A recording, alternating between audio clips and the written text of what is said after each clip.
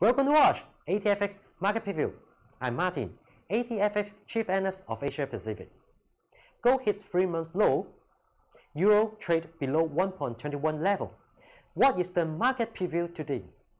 Let's start watching the market preview.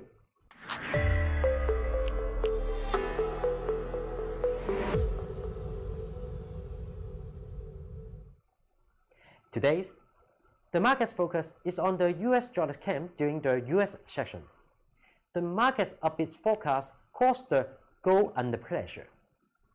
Technically, gold was hovering in a downward channel and rebounded from the bottom. A break above 1787 may extend its rally toward 1793 or 1801 resistance level. However, if the US economic data remains stronger, it may cause the gold further downside.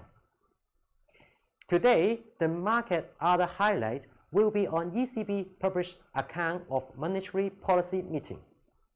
An investor wait and see the ECB policy statement. Technically, the euro is trading around 61.8% of Fibonacci retracement. The resistance is the 10 and 20 moving average. 1.2065 and 1.2098. A key support is 1.2020 or 1.2000 respectively. If euro breached the support, it may look for the previous low 1.1952. Thanks for watching.